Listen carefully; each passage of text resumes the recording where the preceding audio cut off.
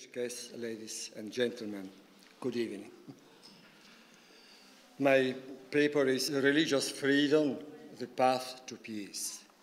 Religious Freedom.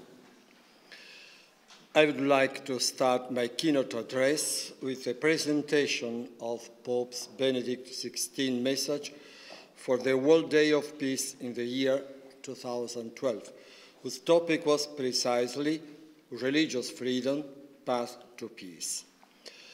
I would like you to summarize first what Pope Benedict means for religious freedom and peace, and then in a second time to speak about some possible paths of peace promoted by religious freedom. First of all, according to Benedict XVI, religious freedom is an essential good. Each person must be able freely to exercise the right to profess and manifest individually or in community his or her own religion or faith, in public and in private, in teaching, in practice, in publications, in worship, and in ritual observances. There should be no obstacles should he or she eventually wish to belong another religion or profess none at all. In this context, international law is a model and an essential point of reference for states insofar as it allows no derogation from religious freedom as long as the just requirements of public order are observed. The international order thus recognizes that rights of religious nature have the same status as the right of life and to personal freedom, as proof of the fact that they belong to the essential core of human rights, to those universal and natural rights which human law can never deny. Religious freedom is not the exclusive patrimony of believers, but of the whole family of the earth peoples. It is an essential element of a constitutional state. It cannot be denied without at the same time encroaching on all fundamental rights and freedoms, since it is their synthesis and keystone. It is the litmus test for the respect of all the other human rights. While it favors uh, the exercise of our most specifically human faculties, it creates the necessary premises for the attainment of an in integral development which concerns the whole of the person in every single dimension.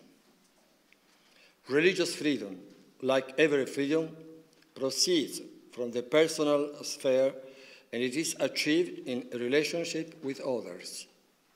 Freedom without a relationship is not full of freedom.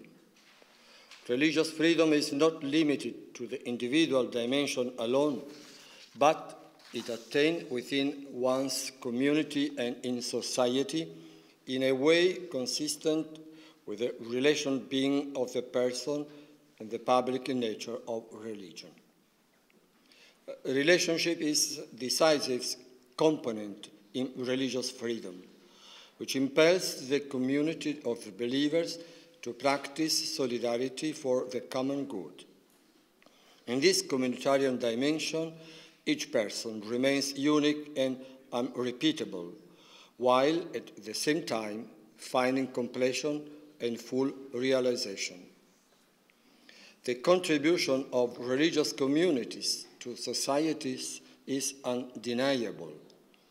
Numerous charitable and cultural institutions testify to the constructive role played by believers in the life of society. More important still is religion's ethical contribution in the political sphere. Religion should not be marginalized or prohibited, but seen as making an effective contribution to the promotion of the common good. In this context, mention should be made of the religious dimension of culture, built up over centuries thanks to the social and especially ethical contributions of religion. This dimension is in no way discriminatory towards those who do not share its beliefs, but instead reinforces social cohesion, integration, and solidarity. The public space which the international community makes available for the religions and their proposal of what constitutes a good life helps to create a measure of agreement about truth and goodness and a moral consensus. Both of these are fundamental to a just and peaceful coexistence. The leaders of the great religions, thanks to their position, their influence, and their authority in their respective communities, are the first ones called to mutual respect and dialogue. Now pass to peace. Once we have exposed the concept of religious freedom according to Pope Benedict XVI, let us now review some possible paths to peace. I would like you to start with a quotation of St. Augustine. He says, Ambula per hominem et pervenies ad Deum. Walk through men and you will come to God. We can transform this quotation and say, Ambula per Deum et pervenies ad hominem. Walk with God, and you will come to me. In other words, we can say that there is a deep relation between humanism and religion, between human life and religious life, between what is authentically human and what is authentically religious. Who has a great idea of God has a great idea of man, and vice versa. Who has a small idea of God has a small idea of man. There is a deep reciprocity between man's respect and God's respect. Human person's dignity. Starting from these considerations, the first path to peace is the implementation of human dignity. The right to religious freedom is rooted in the very dignity of the human person, whose transcendent nature must not be ignored or overlooked. God created man and woman in his own image and likeness. For this reason, each person is endowed with a sacred right to a full life, also from a spiritual standpoint. Without the acknowledgement of, the, of his spiritual being, without openness to the transcendent, the human person withdraws within himself, fails to find answers to the heart's deepest questions about life's meaning, fails to appropriate lasting ethical values and principles, and fails even to experience authentic freedom and to build a just society. It could be said that among the fundamental rights and freedoms rooted in the dignity of the person, religious freedom enjoys a special status. When religious freedom is acknowledged, the dignity of a human person is respected at its root, and the ethos and uh, institutions of peoples are strengthened. On the other hand, whenever religious freedom is denied, and attempts are made to hinder people from professing their religion or faith and living accordingly, human dignity is offended, with a resulting threat to justice and peace, which are grounded in that right social order established in the light of supreme truth and supreme goodness. Moral freedom. A second path could be moral freedom. Religious freedom is at the origin of moral freedom, openness to truth and perfect goodness, openness to God, is rooted in human nature. It confers full dignity on each individual and is the guarantee of full mutual respect between persons. Religious freedom should be understood then not merely as immunity from coercion, but even more fundamentally as an ability to order one's own choices in accordance with truth. Freedom and respect are inseparable. Indeed, in exercising, exercising their rights, individuals and social groups are bound by the moral law to have regard for the rights of others, their own duties to others, and the common good of all. A freedom which is hostile or indifferent to God becomes self negating and does not guarantee full respect for others. A will which believes itself radically incapable of seeking truth and goodness has no objective reasons or motives for acting save those imposed by its fleeting and contingent interests. It does not have an identity to safeguard and build up through really free and conscious decisions. As a result, it cannot demand respect from other wills, which are themselves detached from their own deep being and thus capable of imposing other reasons, or, for that matter, no reason at all. The illusion that moral relativism provides the key for peaceful coexistence is actually the origin of divisions and the denial of the dignity of human beings. Hence, we can see that need for recognition of a twofold dimension within the unity of the human person a religious dimension and a social dimension. In this regard, it is inconceivable that believers should have to suppress a part of themselves, their faith, in order to active citizens, to be active citizens. It should never be necessary to deny God in order to enjoy one's rights. Family, the school of freedom and peace.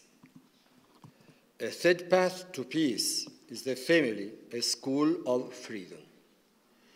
If religious freedom is the path to peace, religious education is the highway which leads new generations to see others as their brothers and sisters with whom they are called to journey and work together so that all will feel that they are living members of the one human family from which no one is to be excluded.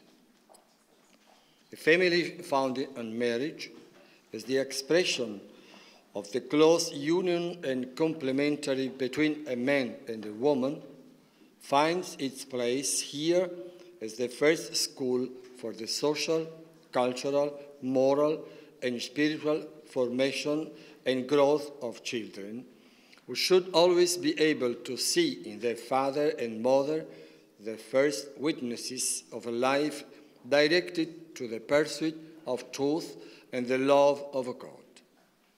Parents must be always free to transmit to their children responsibly and without constraints their heritage of faith, values, and culture.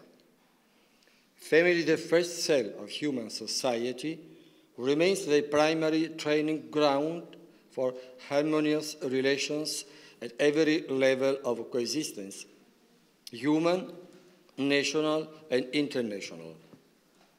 Wisdom suggests that this is the road to building a strong, a strong and fraternal social fabric in which young people can be prepared to assume their proper responsibility in life, in a free society, and in a spirit of understanding and peace.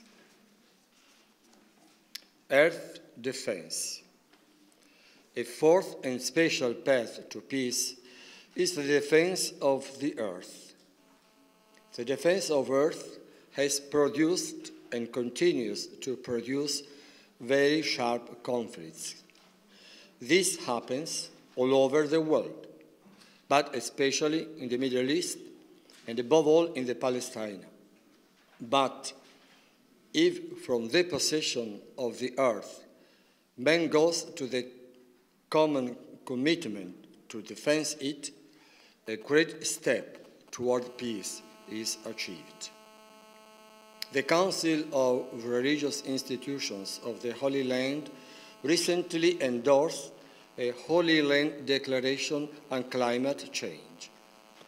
The three members of the Council, His Beatitude Twal Latin Patriarch of Jerusalem, High Salah Zuheika, Deputy Minister of the Palestinian Authorities Ministry of Religious Affairs, Rabbi David Rosen, AJC International Director of Interreligious Affairs, shared their faith perspective on environmental preservation and climate change. We acknowledge, they said, the scientific basis of human-caused climate change and the threat it poses to human societies and the planet as articulated by the United Nations Intergovernmental Panel on Climate Change. We also recognize the spiritual roots of this crisis and the importance of a religious response to it. We call on adherents of our faith in the Holy Land and all over the world to address the, this crisis by undertaking a deep reassessment of our spiritual and physical relationship to this God given planet and how we consume, use, and dispose of its blessed resources. We also call for all people of faith to reduce their personal emissions of greenhouse gases and to urge their political leaders to adopt strong, binding, science-based targets for the reduction of greenhouse gases in order to avert the worst dangers of climate crisis. We hope that this threat to our common home of the Holy Land and of planet Earth will move religious adherents to overcome inter-religious strife and work together for ours and our children's common well-being. Thank you.